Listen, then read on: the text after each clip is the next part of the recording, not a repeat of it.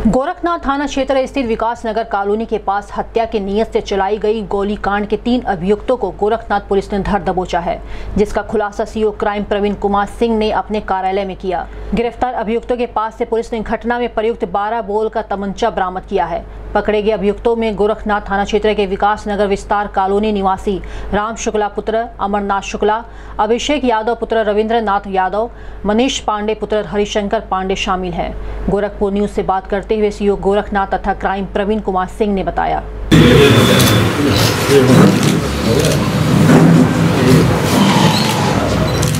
को रात्रि में नौ बजे जो गोली चली थी गोरखनाथ थाना क्षेत्र में जिसमें एक युवक राजेश उर्फ़ पटवारी को गोली लगी थी।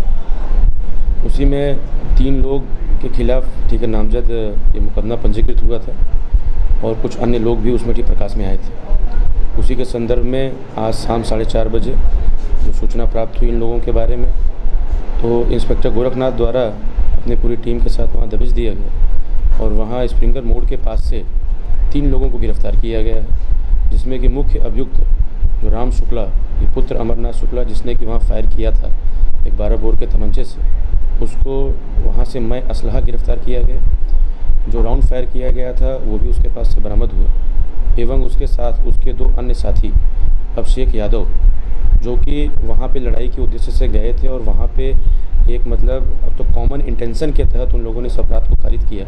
उसकी भी गिरफ्तारी हुई है एवं साथ में मनीष पांडे की भी हुई है। तो कुल मिला के तीन लोग की गिरफ्तारी हो चुकी है। दो अभियुक्त अभी भी शेष हैं, जिनकी जल्द से जल्द गिरफ्तारी कर ली जाएगी। ये मोबाइल के लेन देन का विवाद था, जो एक अन्य ठीक नामजद अभियुक्त है, कृष्णा पाठक। तो कृष्णा पाठक ने एक ठीक सेकेंड हैंड का मोबाइल एक लड़के से ख़रीदा था, अभिषेक नाम के। उसी को लेकर मोबाइल को वापस करना और पैसे का विवाद हुआ, जिसको लेकर बाद में इसने गोलबंद होके एक सफ़ेद स्कूटी और प्लेटिना के साथ वहाँ पंद्रह बीस मिनट बाद दोबारा आया। और आने के साथ साथ वहाँ पे राम शुक्ला ने थोड़ी दूरी से एक और लड़का वहाँ था, राजेश उर्फ़ पटवारी। इस लड़के से कोई विवाद नहीं था। ये लड़का बीच बचाव करने के लिए जैसा कि बताया जा रहा है कि वहाँ पे बीच बचाव करने के उद्देश्य से वहाँ जो पहले झगड़ा हुआ था, उस दौरान था।